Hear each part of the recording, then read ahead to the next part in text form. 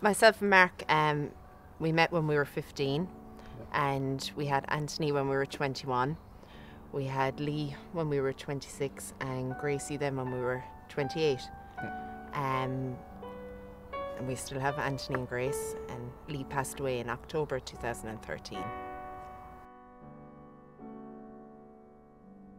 It changed everything really big time, didn't it? That Has, yeah. you appreciate things, little things, a lot more. He was born with fetal hydrops, and they never found a cause for the fetal hydrops. We thought he was just a premature baby. We didn't realise the extent of what was actually wrong.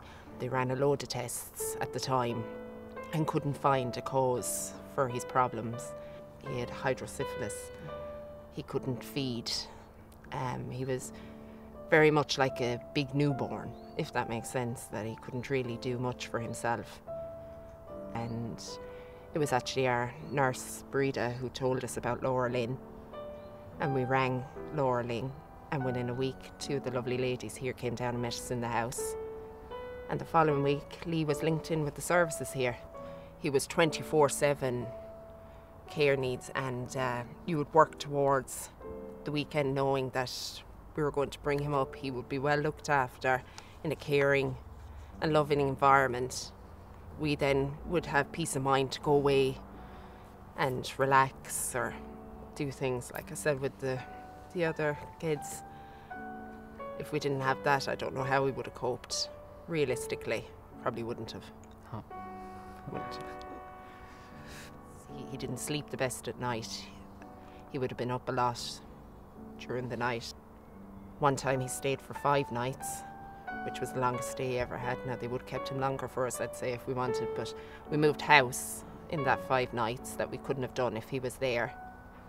And we got everything done in the new house and stuff, so that was great.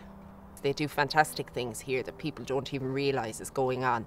And it's not until you yourself are affected or someone belonging to you is affected by something like what Lee had that you realise the great work that's done here. They offer like the respite, they offer the end of life care. He passed away the 6th of October 2013. We will continue to support a parent and families for as long as they wish. We have spiritual care and, and psychological care, social care and nursing care. We run a day for parents to talk and discuss about their grief and their loss.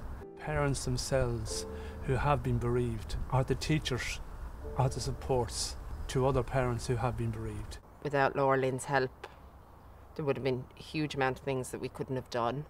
It's vital for families like us to have these kind of services.